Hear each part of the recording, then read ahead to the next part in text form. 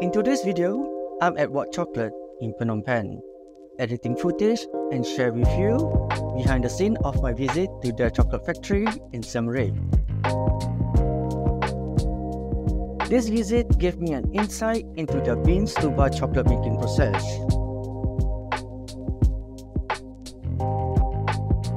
What did I learn from the visit?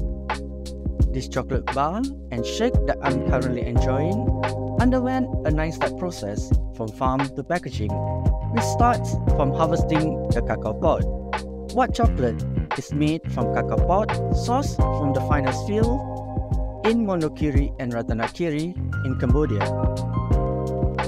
Each pod is handpicked from quality and sustainability at one of the farm they source in Mondulkiri, that is Kamkav Farm the first cacao farm in Cambodia established in 2014.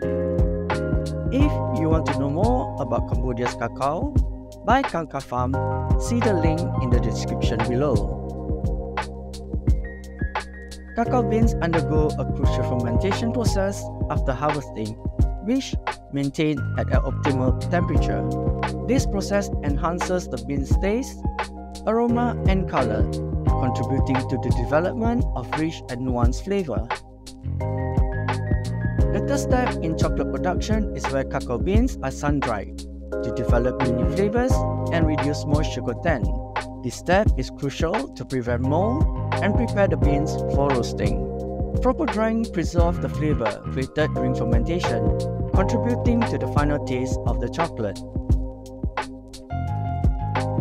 The roasting is a fourth stage in chocolate production. It's crucial as it reduces bitterness and enhances the cacao's natural flavors and aromas. Following roasting in the beans to bar chocolate process, the beans are cracked into smaller pieces to separate the nibs from their shells. The cracked beans are then winnowed, a process involving shaking or blowing with air to remove the husk, leaving behind pure cacao nibs, the essence of chocolate flavor. The grinding is a six-step process, transforming cacao nibs into a smooth paste called chocolate liqueur.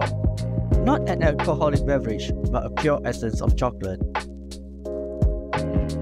The grinding releases the cacao butter, turning the nibs into liquid that serve as a foundation for all chocolate products.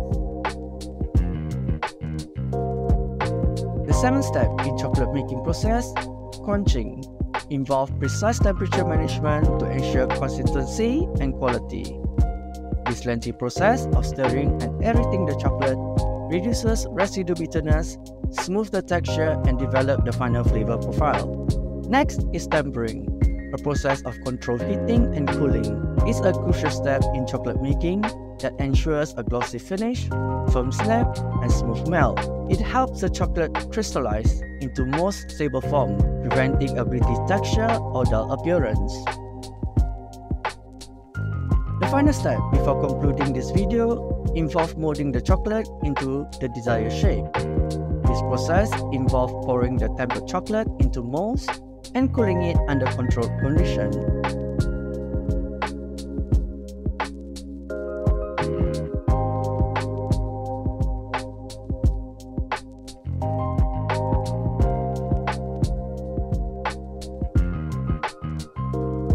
Proper cooling solidifies the chocolate, ensuring it retains its gloss, snap, and shape.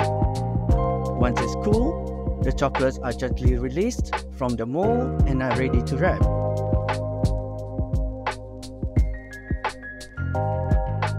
Fancy for some chocolate? Remember, if you want to include a unique treat in your travel itinerary, visit Wat Chocolate, which promises a sweet, delicious, and memorable experience during your visit to Siem Reap. So, if you like this video, don't forget to give a thumbs up and subscribe to my F&B channel. Happy eating and drinking. Stay tuned for the next. Bye!